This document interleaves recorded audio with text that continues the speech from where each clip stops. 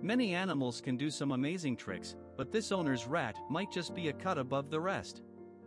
The dwarf rat you see on your screen, named Butter, has been taught to fetch money out of a purse and bring it back to their owner in only a matter of seconds. Pay attention to how they accomplish this with a slow motion view.